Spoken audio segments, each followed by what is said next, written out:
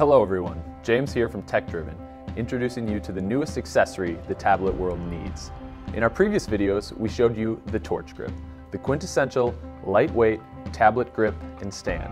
We demonstrated its durability and strength. Today, we're going to show you how the Torch Grip gets off your table or lap and into your hands. Our universal mounting assembly offers an anatomically correct, host way to hold a tablet.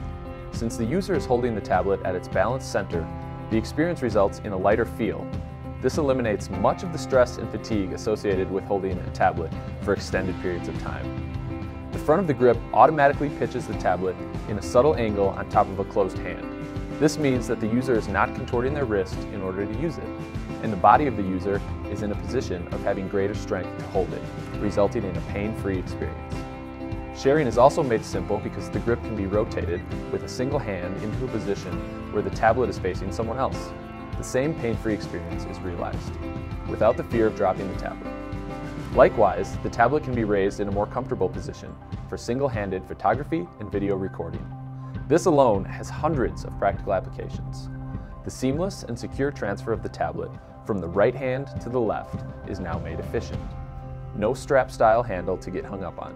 Hand it over to a friend without the fuss or worry of losing control. We want you to share with total confidence. We've made sharing and presentations to others more comfortable and secure than ever before. Tune in to our fifth and final video in our series where we will put the torch grip in numerous practical everyday scenarios.